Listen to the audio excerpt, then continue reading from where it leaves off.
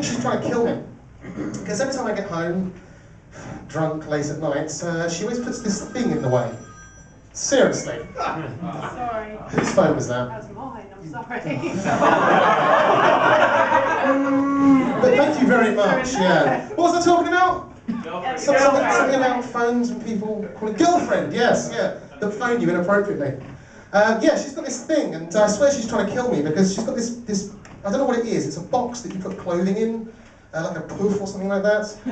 And um, every time I get home, it's always in the way. I've never seen it during the day, but when I get home, I always fall over it. And I swear one day there's going to be a pit of spears and snakes and other awful things for me to fall in because this isn't the only time she's tried to kill me. When we were having, uh, what polite way to put it, it is cunnilingus, um, she tends to get a bit, um, well, you know, when she's enjoying herself.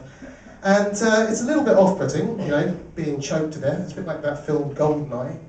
But the, the worst bit is, um, she's got this thing she does when she uh, climaxes. And uh, it's, it's a little bit like uh, waterboarding. You can't get out, you're dying, and uh, it, I think it's called the female ejaculation, which is it's a fantastic thing for, for ladies to do.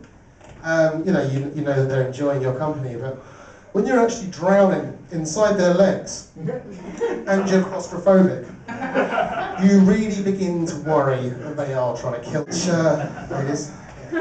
I like the way that everyone's picked on these two girls here tonight. You know, they're very beautiful, but there are other women